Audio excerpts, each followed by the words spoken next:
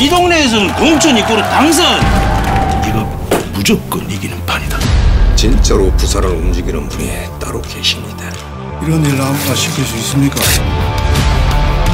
우리는 막 졸업은행 공천 받을 줄 알고 돈 빌려드렸는데 왜 나가리가 됐구가 이거 진짜 핵폭탄이다. 잉. 터지면은 대한민국 TV 지는 거다. 해보자. 이해 확실하게 조져야 됩니다. 부산 한번 뒤집어 엎을 거예요. 한발 삐끗하고 맞다 뒤지는 게.